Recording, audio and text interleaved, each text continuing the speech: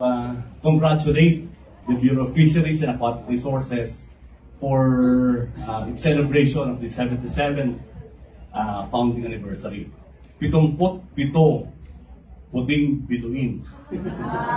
Naalala ko pa po yun nung elementary kami. Po.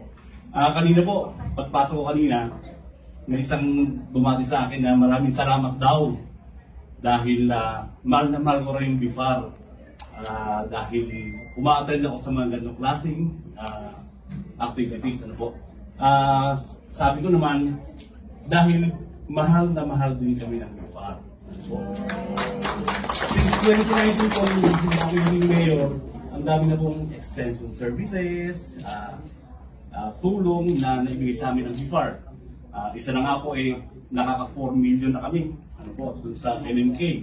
Ah, meron kaming 30 million na legislated hatchery. Um, Ma'am Josie, ano po, eh, ah, nabibigyan kami parati ng uh, similya, uh, may salt making uh, ongoing po kami na gina- ginagawa at uh, freshwater fisheries, etc. Po. Ah, so, naging kung, kung, kung nagtagumpay po ang Tagwayan for the past four years, ito po ay dahil sa tulong at suporta ng BIFAR Region 4A. Maraming salamat po sa inyo. So, uh, hindi na po ako masyadong papahaba.